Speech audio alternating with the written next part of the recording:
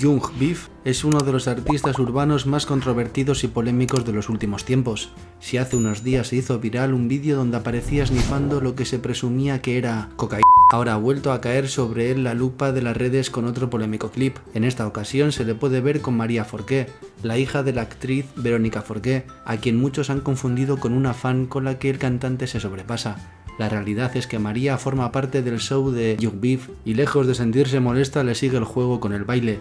En un momento dado, el cantante se pone de rodillas, levanta la falda y le mete su cabeza en ella.